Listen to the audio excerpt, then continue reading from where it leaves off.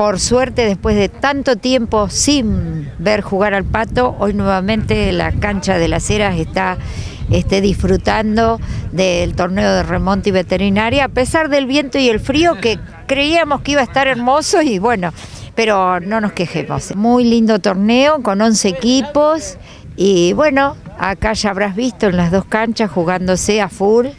Este, así que acá estamos. Si Dios quiere y deja de llover, de tanto que ha llovido, que hace dos meses que no podemos hacer actividad de pato.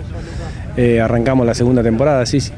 Eh, a partir de ahora viene donde juegan los jugadores de mayores goles. Y a partir de ahora ya empiezan los más grandes a, empezar a jugar a mover los caballos. Bueno, eh, ¿cómo afectó este, este parate? Imagino bastante, ¿no? A los jugadores, a los caballos sobre todo. Y sí, ahora es un poco, hay que agarrar los caballos estado y la gente también. Y tenemos varios campeonatos y vamos a hacer pato picadero para los chicos que vayan aprendiendo y darle posibilidad de a los chicos que jueguen. El fin de semana que viene nosotros teníamos un torneo nuestro, pero como federación nos pide hacer este torneo aquí, eh, como sabemos que hay muchos campos que no han podido, igual que nosotros, tener la posibilidad de un torneo, le ofrecimos que otro campo lo haga el fin de semana que viene.